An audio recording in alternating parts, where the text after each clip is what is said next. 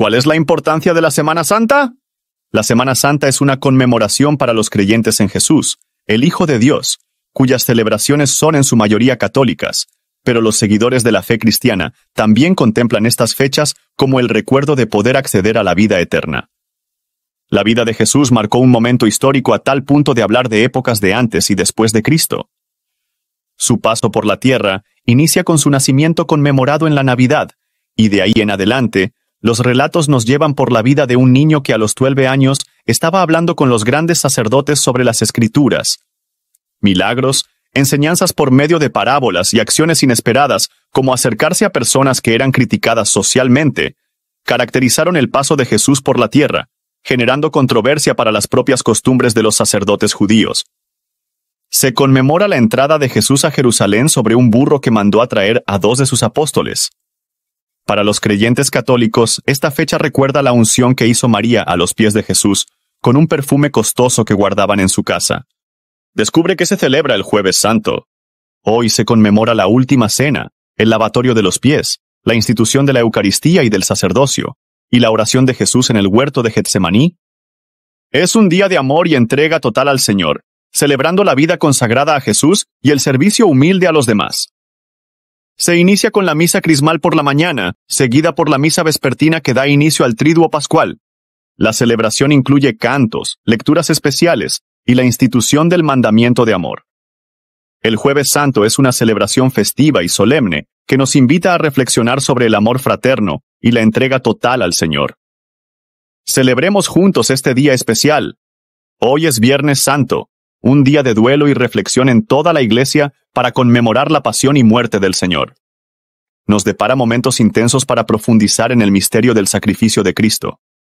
En todo el mundo cristiano se llevan a cabo diversas expresiones de fe, desde el Vía Crucis hasta procesiones presididas por la imagen de Cristo sufriente y de su Madre dolorosa.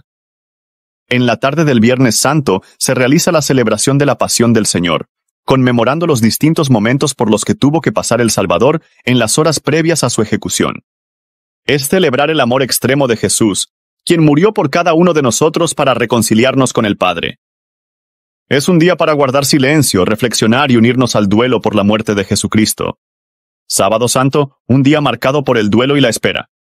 Después de conmemorar la pasión y muerte del Señor, la Iglesia se prepara para celebrar al resucitado, las primeras horas del día están marcadas por un espíritu de duelo, pero no de soledad.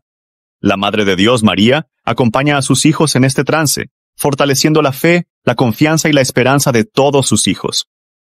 Más tarde tiene lugar la celebración eucarística más especial del año litúrgico, la Vigilia Pascual. Es la celebración por excelencia de la victoria definitiva de Cristo sobre el mal, el pecado y la muerte. Durante la Vigilia Pascual se realizan tres símbolos importantes, la celebración de la luz o del fuego, el pregón pascual y la renovación de las promesas bautismales. Que la vigilia pascual nos llene de esperanza y nos recuerde la victoria de nuestro Dios sobre la oscuridad. ¿Alguna vez se han preguntado por qué el domingo de resurrección es tan importante para los católicos?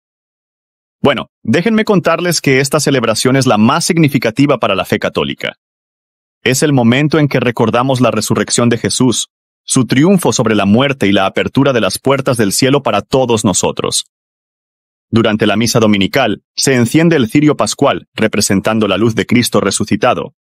Este cirio permanece encendido hasta el día de la ascensión. Además, la resurrección de Jesús es un hecho histórico, respaldado por pruebas como el sepulcro vacío y las numerosas apariciones a sus apóstoles. Como dijo San Pablo, si Cristo no hubiera resucitado, vana sería nuestra fe. La resurrección de Cristo es una luz para todos, y como cristianos debemos irradiar esa luz a los demás.